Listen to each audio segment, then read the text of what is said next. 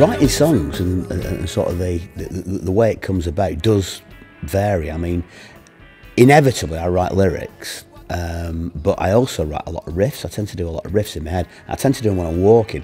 If you ever look at the speed of, of the track, it's sort of a walking speed. You know, it's either sort of quite a brisk walk or something a bit more laid back, but it's all that sort of speed. And I'll come up with a riff. And the greatest thing that I've ever done is buy, and I hate to push Apple here, but I bought an iPhone and, and now the voice memo on it, I just click it and, and I'll be on a train, I'll be even in the car, you know, I'll stop and, and, and, and record a little bit of, of, and I'll sing crazily into the, you know, the blasted thing and, and, and that's it. So really it's a combination, but, but, but I tend to write a lyric uh, first really and then use bits of, of, of riffs and, and music, music that I've, I've written before to, to go with that.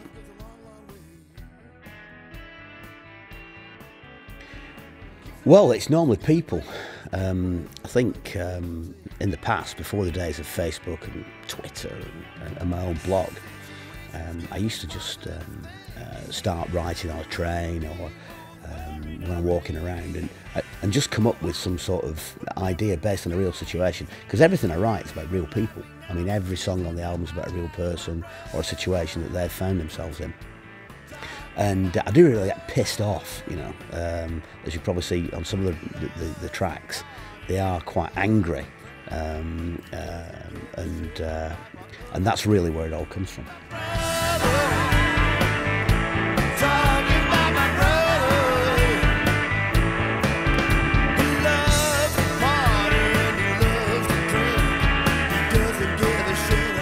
Well, brother, um, I wrote the lyrics quite a long time before I wrote the music, and it's about a guy called Jez Leavews uh, who was working with at the time.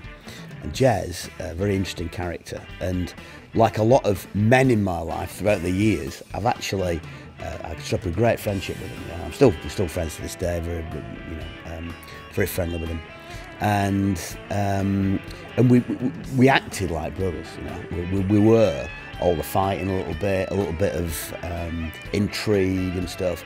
But but the whole base of the song, we used to go out and really rip it up, you know, get really pissed um, and upset a lot of people and do a lot of things that uh, probably shouldn't talk about on camera right now. So I'm not going to talk about on camera right now.